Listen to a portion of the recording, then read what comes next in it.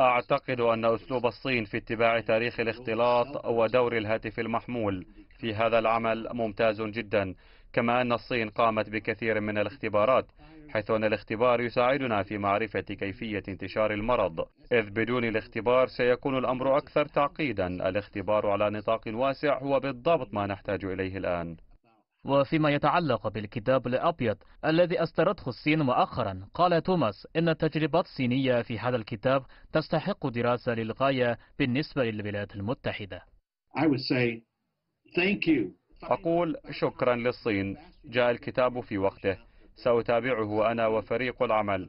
من أجل تحويله لمساعدة المجموعات الأكثر تضررا من الوباء في الولايات المتحدة.